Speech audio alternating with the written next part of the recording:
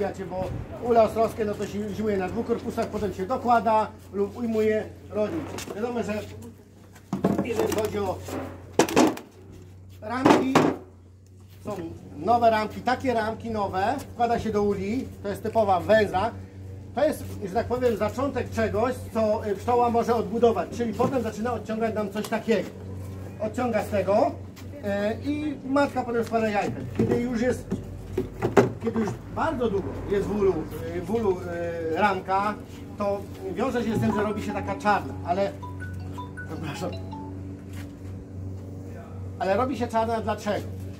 Dlatego, że pszczoła, tak samo jak my, przenosimy na nogach brud y, do domu, do ten, ona wchodzi po wszystkich liściach. Głównie najgorsze, najgorsze ramki się robią czarne wtedy, kiedy jest spać. Spać jest klejąca i jest to na iglach. Sami jak dotkniemy igle, to mamy takie ręce y, takie ciemne. Tych, tych, tych pszczół około w sezonie jest około 50 tysięcy pszczół y, w ulu, y, to y, no, można sobie wyobrazić, że tyle pszczół przejdzie. Y, Z biegiem czasu właśnie tę ramkę zabrudną, nie?